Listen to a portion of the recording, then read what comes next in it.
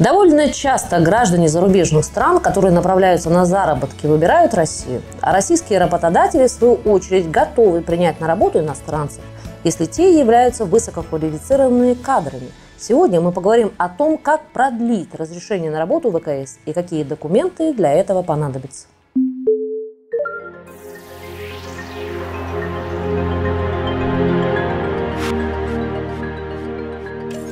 Согласно статье 13.2 Федерального закона 115, высококвалифицированным специалистом признается иностранный гражданин, если его трудовая деятельность в России предполагает зарплату размером не менее 83 500 рублей за календарный месяц. Речь идет о научных сотрудниках, преподавателях, работниках промышленно-производственных, туристических и портовых особых экономических зон. Не менее чем 58 500 рублей за месяц, если рассматривать резидентов технико-внедренческой особой экономической зоны, и не менее 1 миллиона рублей за год для медицинских, педагогических и научных работников.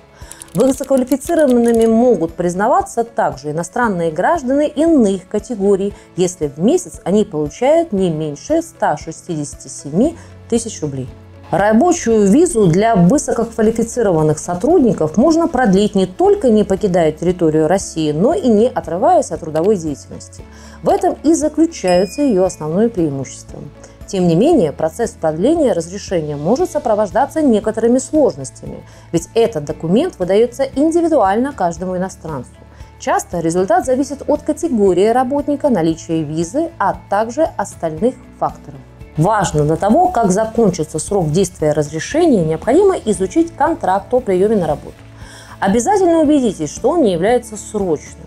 У вас должны совпадать сроки разрешения, контракта и открытой визы. Стоит отметить, что продление – это более простая процедура, но без бумажной волокиты тут не обойтись.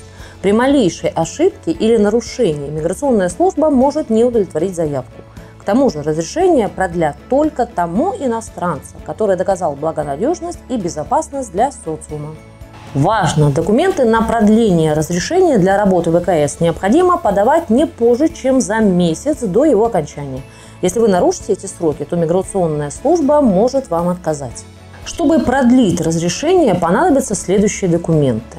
Справка о доходах за весь период работы в Российской Федерации. Страховой полис за уже проведенный в России период и договор на медицинское обслуживание.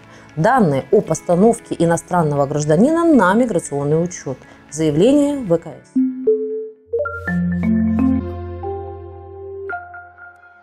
В законодательных актах прописано, что срок действия разрешения можно продлевать бесконечно. Главное, чтобы даты продления совпадали со сроком действия трудового договора. Итак, обозначим четыре этапа продления разрешения на работу ВКС. Первое – оформление дополнительного соглашения с ВКС, связанное с продлением срока действия разрешения. Второе – предоставление полного перечня необходимых документов. Именно этот этап может стать самым сложным, ведь малейшая ошибка может служить поводом для отказа. Советуем вам обратиться к специалистам, которые смогут проконтролировать все нюансы и помогут избежать подводных камней. Не забывайте, что на сбор и подачу документов у вас есть только 30 дней до окончания срока разрешения. Третье. Изучение документов Министерством внутренних дел. В течение 14 календарных дней вас уведомят о решении. Четвертое. Выдача разрешения. Иностранный высококвалифицированный сотрудник получает документ лично в МВД. И хотя сама выдача происходит в течение 15 минут, в своей очереди на прием придется ждать долго.